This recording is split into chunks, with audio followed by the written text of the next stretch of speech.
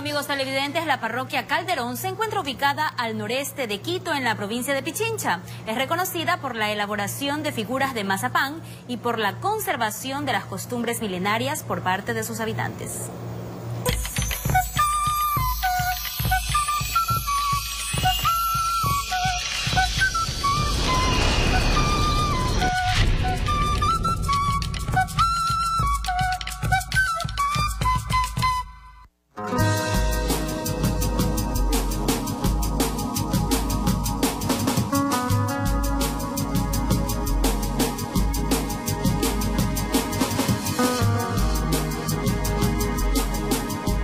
Esta parroquia fue fundada por el general Eloy Alfaro en 1896, son 119 años de aquello.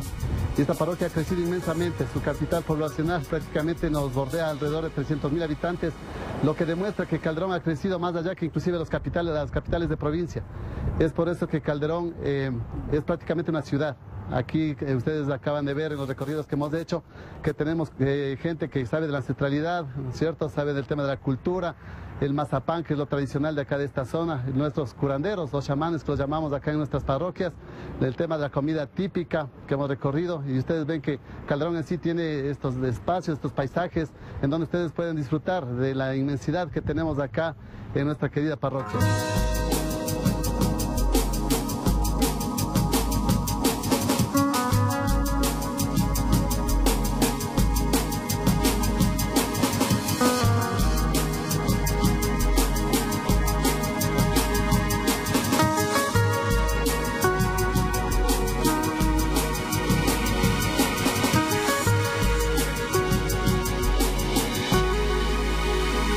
Aquí tenemos nuestros indígenas nativos de Calderón, que los hemos elaborado en, mazapán y que somos productores progresistas de mazapán Calderón, que ya estamos aquí ubicados como 27 años.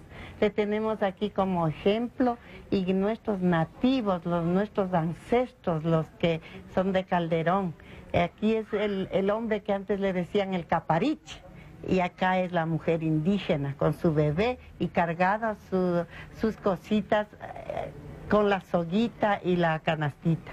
Y también tenemos nuestros uh, bailarines, que aquí todavía existen comunidades que hacen aquí en Calderón fiestas nativas de Calderón. Entonces en ellos también se disfrazan de diferentes, de diferentes disfraces de diferentes pueblos. También aquí son los aluchicos, las, uh, las zuleteñas, y no les hemos sacado a los, uh, a los danzantes, de todo hacemos aquí en Calderón.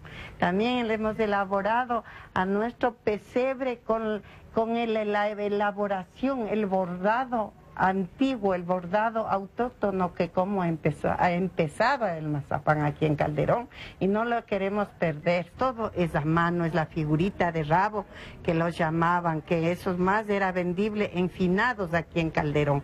Eh, y esto hacían como regalos a los ahijados, antes como nuestros indígenas. Desde ahí ha empezado y por eso nosotros los tenemos a la pareja de indígenas nativos de Calderón.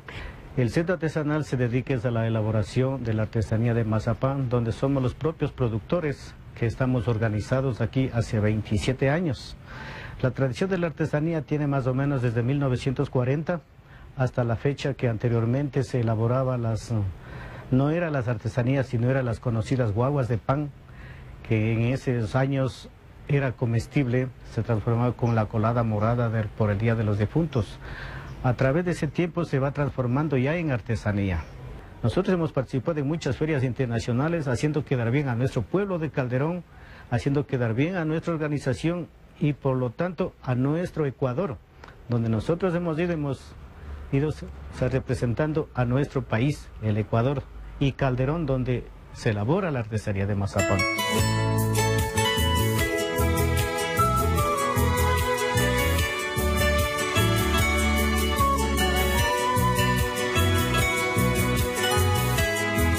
Soy la tercera generación haciendo mi trabajo en lo que es el cuero repujado. Eh, este trabajo me enseñó mi papá. Y a mi papi le enseñó un tío de mi mami. O sea, ya es vena de generaciones. Este. Lo que yo estoy haciendo es combinar el cuero repujado con el mazapán, dándoles estas figuras, como esta también, el, el vasito porta lápiz. Este es el verdadero repujado a mano, aquí no entra nada de maquinaria. Todo es hecho eh, con golpecitos, con varios eh, puntos que yo mismo hago, que eso me enseñó mi papi. Y cada una de estas conchitas también es otro, un golpecito en cada una del cuero.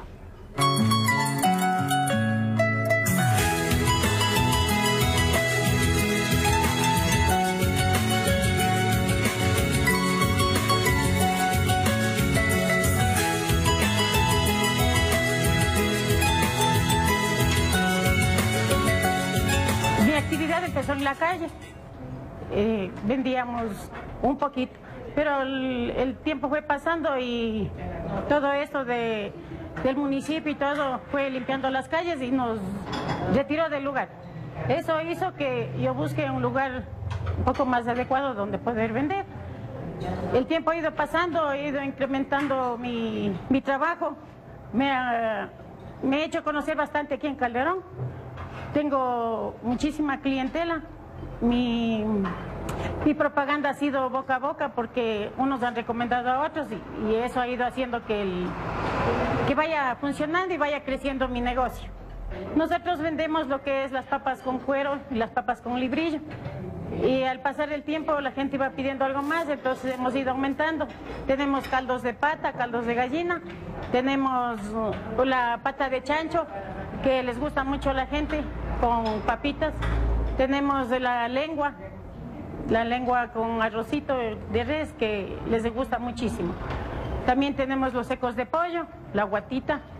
Esos son los platos tradicionales que hacemos ya. Eso ya vamos vendiendo ahorita durante 10 años. Nosotros tenemos aquí lo que es el librillo. Este es el librillo que se vende con, con las papas y, el- y la salsa. Esto va crudo.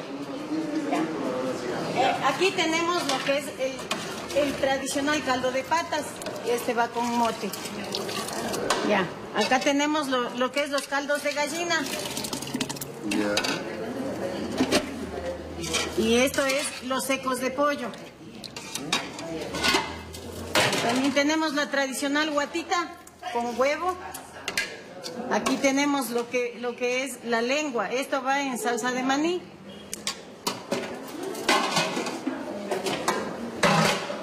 El arroz y, aquí va lo que es el, la pata de chancho. Esto va con... Y también tenemos las papitas con cuero, que es lo, lo que más se vende. Soy de profesión ingeniero civil, pero esto del restaurante surgió como una, un hobby eh, con, con- con mi suegra, que, que es chef. Entonces ella fue la que me fue metiendo poquito a poquito este gusanito de, de la comida y del restaurante. Eh, el restaurante se llama Mi Quinta, Mi Quinta Restaurante, porque el nombre, porque antes de esta propiedad era, era una quinta pequeña. La especialidad que manejamos es variada, dando énfasis en lo típico, ¿no? Eh, el locrito criollo, el yaguar locro, el seco de chivo, el yapingacho mateño, y también tenemos platitos más elaborados, más, más finos, como lomitos, eh, corvina, camarones. También eh, hacemos la, la chicha de jora, que es en base al maíz, que usted sa- sabe desde, desde hace muchos eh, años atrás se, se la consumía. El seco de chivo igual tiene bastante aceptación y el yaguar locro. Eh, sucede un fenómeno interesante entre semana. Tenemos concurrencia de, de gente que tiene aquí sus, sus empresas, sus negocios y el fin de semana en cambio viene gente de fuera también.